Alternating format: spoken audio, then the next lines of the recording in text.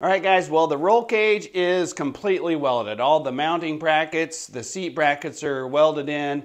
The, the lap belt and the crotch belt are welded in. This thing is done completely other than uh, um, powder coating. So now it's time to get going on this thing. The engine, the old JRE 500 Monster, this thing has just been placed in here. So now that I know everything is done, it's time to start working on steering up there, gas pedal down there, fuel tank, oil to, well, the oil tank's back in the back there, but your fuel tank and your oil filter go up here. So now that everything is done, this is the position it's gonna be in. So I'm gonna lock that down.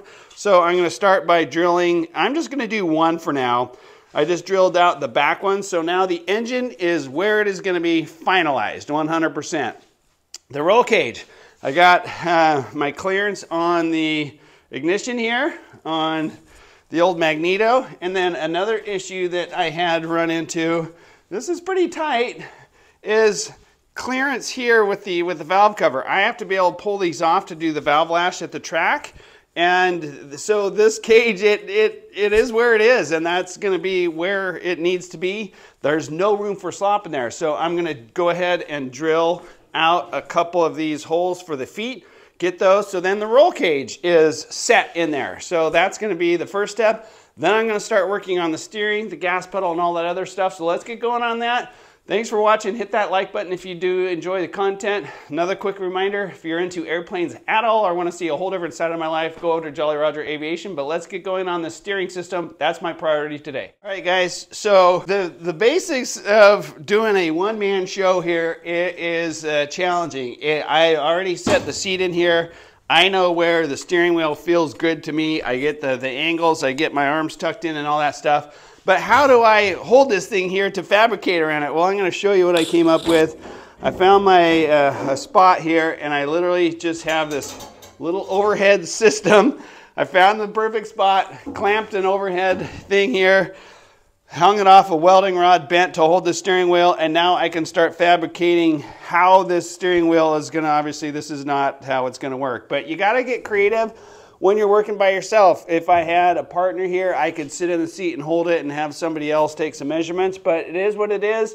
Um, you overcome, you figure it out, and you move on. So that's what we're doing now. I'm going to get to going on this. Start. Uh, I, this is where the, the steering wheel needs to be. Now I'm going to start working on how I'm going to anchor this wheel in here. It needs to be solid. Can't be any slopping in it or anything like that. You cannot weld to your roll cage for any brackets or anything like that. You're not supposed to unless it comes off like a mounting bracket or something like that. So I'm thinking I'm going to come off of this bottom engine bear to anchor this here and then anchor it up into this little uh, stiffener up here in the dash and we'll get to going on that. Well, I got a really good start on the steering system. I'm really happy with it. Um, this, uh, everything is kind of just set in here for now and I'm super happy with it. It really is important for me to get my wrist angle just right. I found this uh, steering wheel on Amazon. I'll put a link down below, but I've modified it, obviously cut the big top off of it.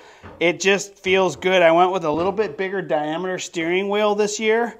Just I think because it gives me more feel, more control than the really uh, tight and narrow ones. But I'll tear this thing apart and kind of talk. You saw my little jury rig here on how I, I found the position of it. And what's kind of cool is uh, this thing, I can put it anywhere I want, but I was, I was kind of going through the motions here. When I'm all the way up here, my arms are in too tight. I can't really get the wheel where I want, want it. So I need to have my arms extended out a little bit more, which works perfectly right there. It just feels so natural. Like, and that, like, I swear to goodness that there is a mental block if your if your gas pedal doesn't feel exactly right, if your steering wheel doesn't feel exactly right, it will drive you crazy this angle here, you can see it slopes down. If it's if it's more flat, your wrists are are not at the right angle, and that will drive you crazy. I am really digging this angle right here. So that's a, a big positive. So I'm going to tear this thing apart, kind of show you what I got. Um, oh, quick, quick release. That kind of helps you get in and out of the boat. I'll, like I said, I'll put the link down below.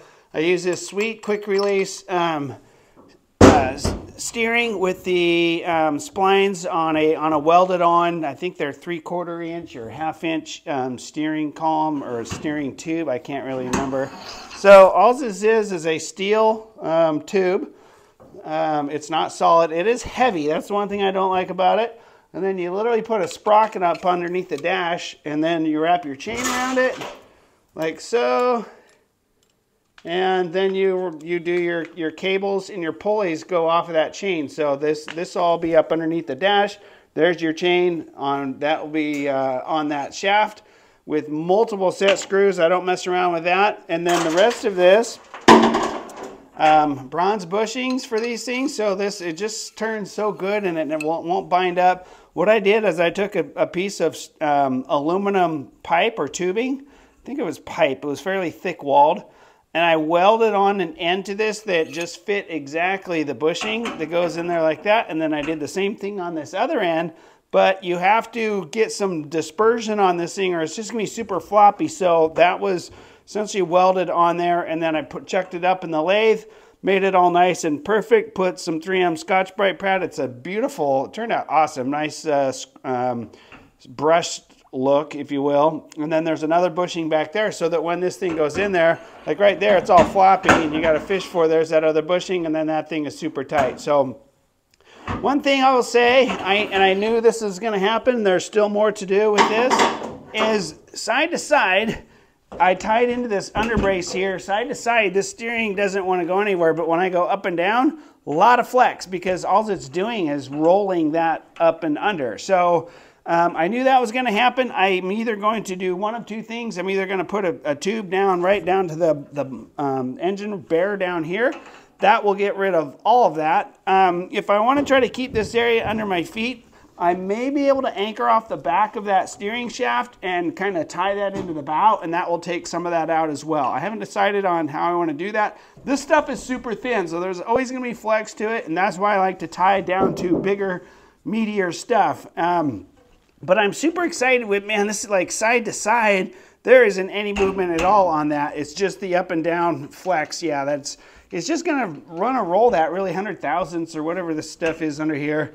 It's just, it's part of the game, I guess. But uh, I knew that was gonna happen. I'm gonna tie something down to here, 99% sure. So what's next? Now, now that I got this thing located exactly where it's gonna be, I gotta start working this and the chain and the cables and all the pulleys to get it back to the pump.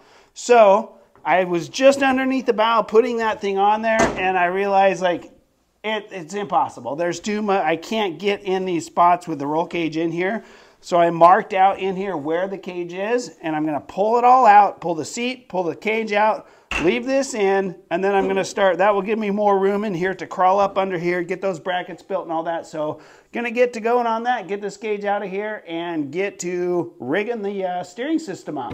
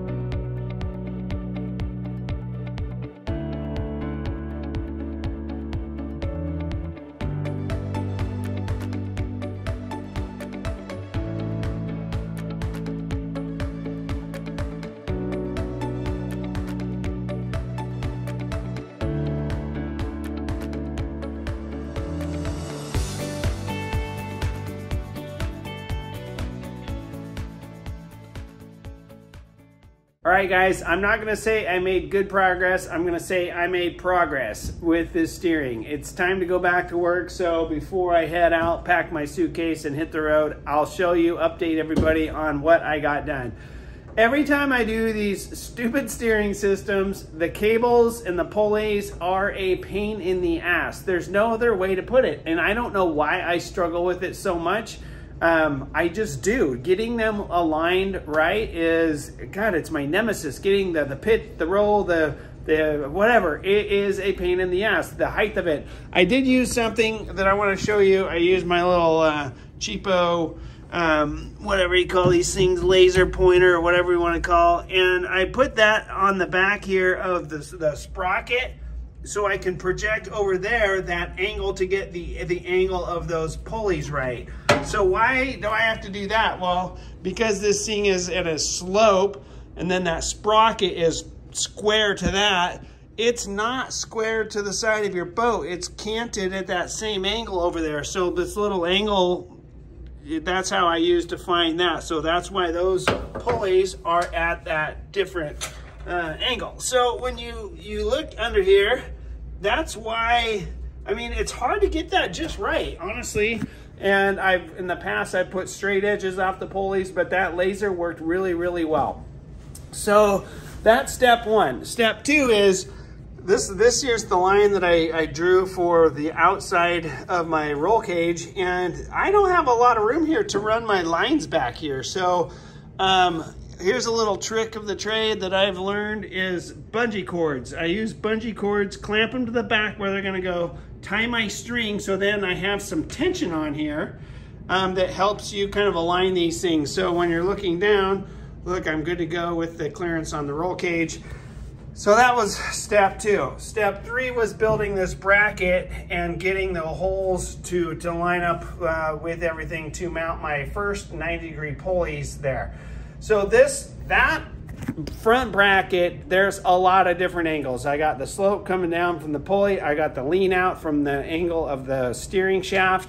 And then I got to set the right depth of it to get it out over and out of the way of my legs, of the roll cage, and of the, the side of the boat, honestly. So that is, uh, it's all done. I'm pretty stoked. This is my final thing. These little, I completely made these little pulley brackets 100% from scratch.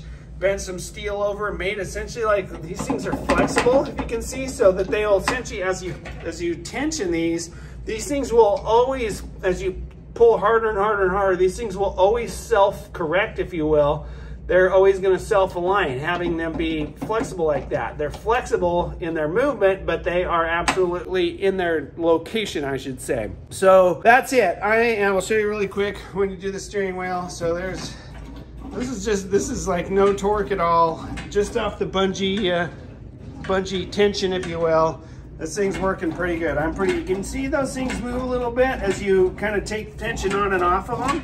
But that's how I did the 146 and that has been the best steering feeling boat that I had. You gotta have it absolutely correct because you want those, um, those lines, those cables tight like a piano wire, but if you get them too tight and they start to bind, your steering feels gritty and bindy. And sound, that's a good word, bindy. So I really took my time on the 146, and man, the steering on that boat was the sweetest, honestly, I've ever felt of any boat, honestly. So I wanted to replicate that and do it right. It's time to pack up. I'm frustrated. My shop is a disaster, but I'm gonna. I, uh, I guess I'll clean it up before I go to work. Have, hope you guys have a great weekend. I'm gonna upload this on Sunday, so you won't be seeing this until Sunday.